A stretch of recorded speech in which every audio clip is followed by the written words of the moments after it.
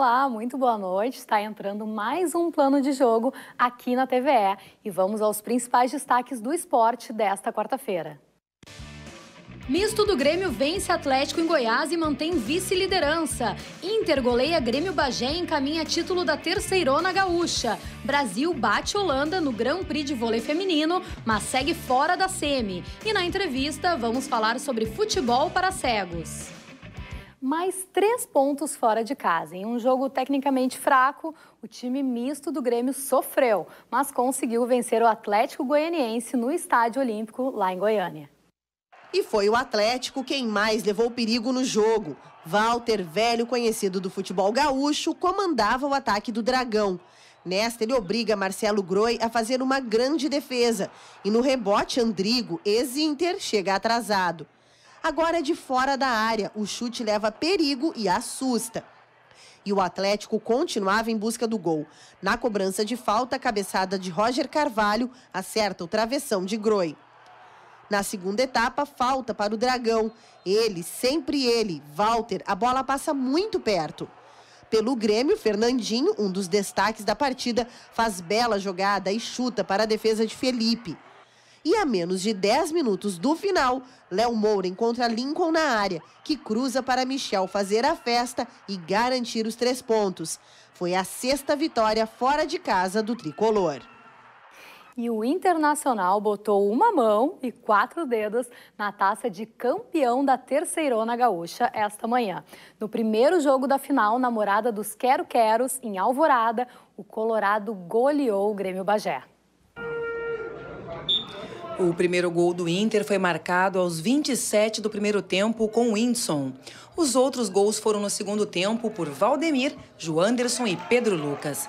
Este gol que você está vendo foi o terceiro de Joanderson de pênalti.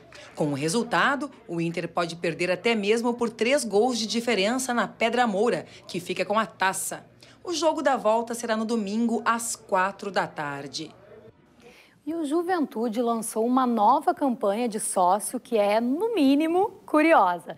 Chama-se Jaconeiro Animal. Isso mesmo. Por meio dela, o torcedor pode associar o seu animalzinho de estimação. Confira esse novo projeto do clube na reportagem da TV Caxias. Estou aqui no estádio Alfredo Jacone, mas dessa vez não é para falar da campanha do Juventude na Série B, e sim para falar de uma campanha animal. O Ricardo é publicitário e idealizador do projeto Jaconeiro Animal e vai contar um pouquinho para a gente de como surgiu essa ideia. Bom, eu como publicitário sempre pensei como potencializar a minha profissão a favor de causas positivas.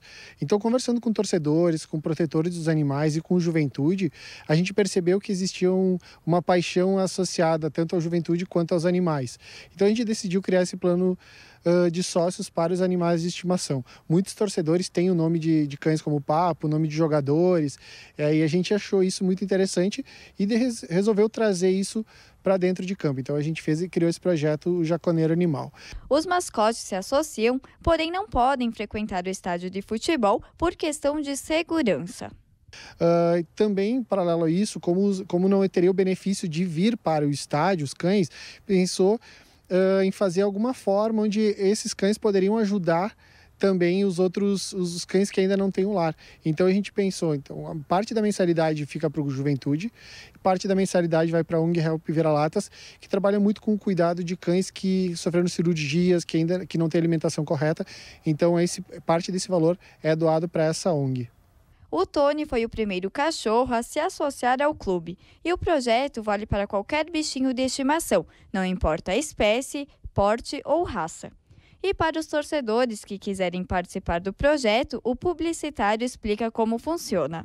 Bom, é bem simples, é só entrar no site juventude.com.br barra jaconeiro animal. Nesse link, o torcedor já pode preencher todo o cadastro com o seu nome, nome do responsável pelo animal, o nome do cão, a, já enviar foto. Em torno de 15 dias, uma carteirinha especial. Essa carteirinha chega aqui no estádio, é, o clube entra em contato e além da carteirinha, ele ganha é, um pingente do nosso patrocinador da Sago Store, um lenço e aí com a carteirinha ele ele ganha desconto na Estação da Ração e na Sago Store, que são os nossos patrocinadores. E no plano de jogo de hoje, recebemos aqui no estúdio o técnico de futsal para deficientes visuais, Rafael Astrada, que trabalha na HFUC, que já tem importantes títulos, né, como o Regional Sim. Sul, e agora se prepara para o Brasileiro em outubro, é isso? Boa noite, obrigada pela Boa presença. Noite. Obrigado pelo convite. Realmente, estamos agora em preparação para o Brasileiro, né, que é outubro em Salvador. Fomos campeões do Regional Sul em maio, em Ponta Grossa, agora de forma invicta. Então estamos em preparação aí para tentar trazer esse título para o Grande Sul novamente, que a gente conquistou em 2015. E eu estou sabendo que as estrelas do teu time estão por desembarcar por aqui, é isso? Isso, exatamente. A gente tem um grupo que a gente treina semanalmente, aqui duas vezes por semana, né? E também temos jogadores fora do estado, que são jogadores de seleção brasileira. Né? São quatro jogadores de seleção brasileira uh, que não moram aqui no estado. Então agora no, na segunda semana de agosto chegam três aí para treinar, fazer uma semana de treinamentos visando já esse, esse campeonato brasileiro, né? Depois eles voltam em setembro também para treinar e depois a gente já embarca para para Salvador. E eu imagino que o atleta mais conhecido, até pelas conquistas, né, que, que já teve tanto pessoais quanto, uh, enfim, na, na, seleção, é o Ricardinho, né?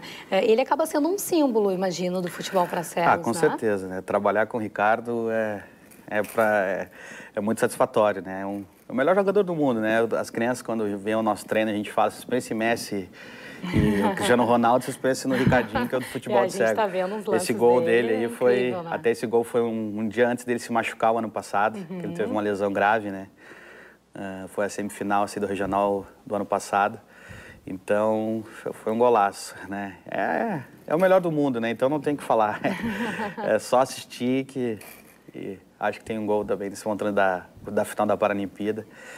Ele é sensacional, é um é o melhor do mundo, de novo, né? Sim. Tem que falar. E, e, como é que está a questão, assim, da safra, digamos, né? Uh, tem outros é. jogadores bons surgindo? Ó, a, a no, nossa equipe, nós estamos com um menino de 18, 19 anos, tá? Já o Jonathan. Ele está na seleção de...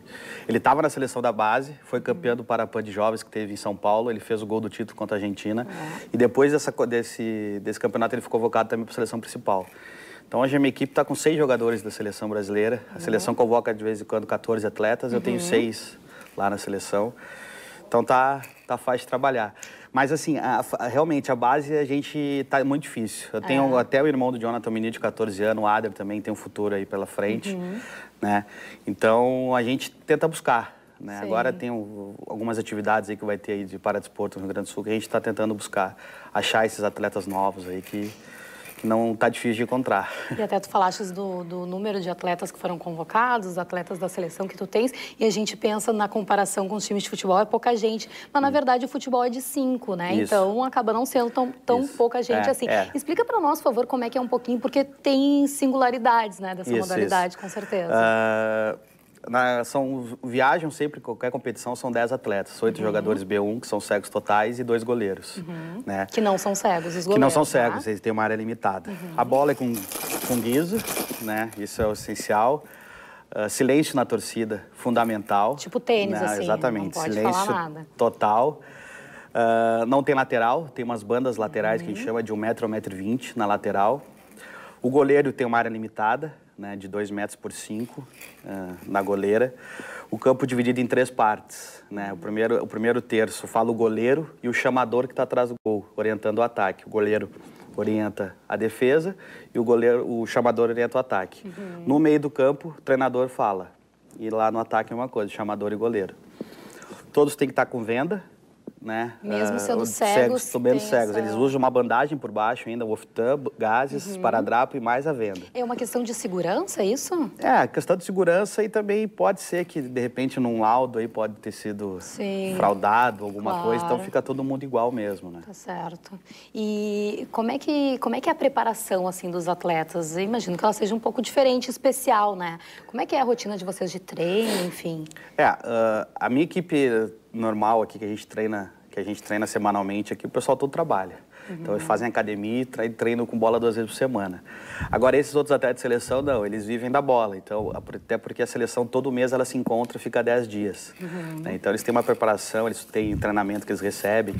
E os meus aqui eles fazem academia, a gente exige que eles fazem academia e treina, a gente treina duas vezes com bola numa quadra lá em Canoas, né? Nós somos uma das poucas equipes que tem uma quadra adaptada, né? Canoas deixou a gente adaptar uma quadra lá, então A gente é grato à cidade de Canoas por estar. Tá, a gente já está há cinco anos já na, lá nessa quadra, que o pessoal, a maioria de Porto Alegre, pega dois ônibus, trem para chegar Sim. em Canoas para treinar, porque vale a pena. A quadra com a, com a banda, a quadra adaptada Sai outro Faz treino. Sai sim, outro treino, com certeza. com certeza. Rafael, quem está nos assistindo e for deficiente visual e tiver interesse em conhecer mais da Gafuc, do trabalho de vocês, como é que pode fazer?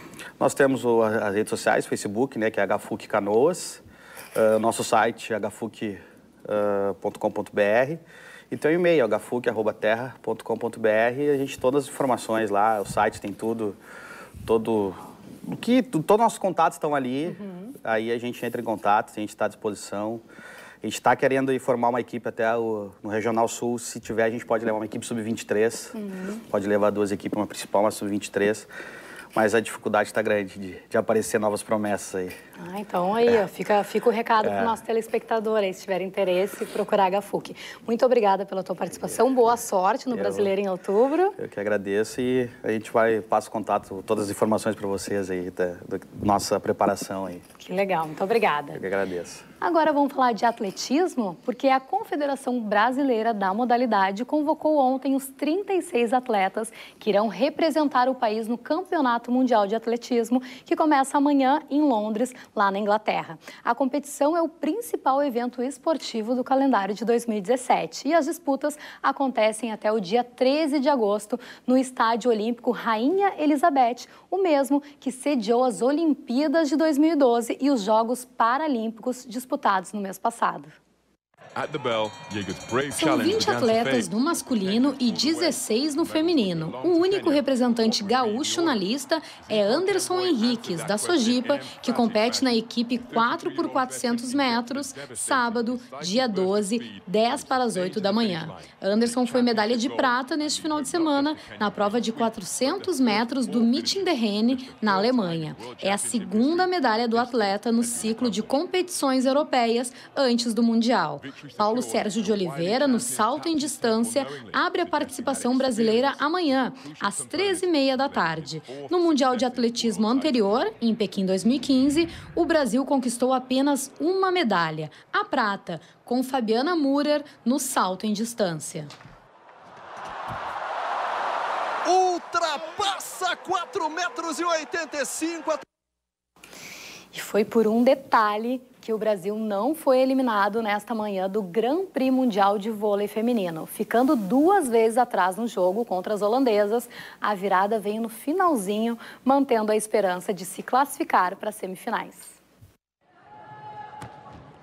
Depois de perderem o primeiro jogo para as anfitriãs, as garotas do vôlei brasileiro precisavam vencer a Holanda para ainda terem chance de classificação para as semifinais do Grand Prix.